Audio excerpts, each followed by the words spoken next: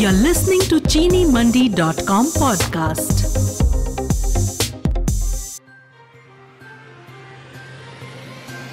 Malaysia द्वारा चीनी की कीमतें बढ़ाने पर विचार। पाकिस्तान सरकार ने 6 लाख टन चीनी आयात करने का फैसला वापस लिया मीडिया रिपोर्ट्स। तमिलनाडु में गन्ना किसानों का प्रदर्शन। क्यूबा का चीनी उद्योग संकट में।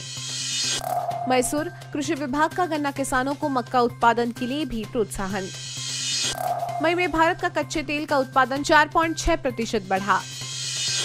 महाराष्ट्र में अगला गन्ना पेराई सत्र 1 अक्टूबर से शुरू होगा, सहकारिता मंत्री बाला साहेब पाटिल।